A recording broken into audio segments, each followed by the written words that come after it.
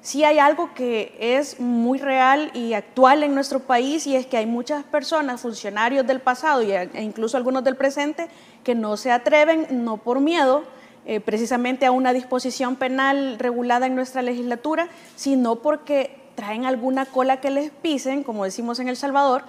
y que pues tienen miedo de que si votan como ellos consideran, les van a abrir casos por cosas que realmente han hecho. No estoy diciendo que este sea el caso de él, pero muchos de los casos en la actualidad, funcionarios y exfuncionarios que no se atreven a opinar abiertamente sobre un tema o no se atreven a resolver jurídicamente sobre otro tema, precisamente porque algo han hecho que ya se los descubrieron y quizás los tienen amenazados. Pero lo cierto es que un juez tiene que ser contra, mayoritario, debe estar preparado para resolver y no es que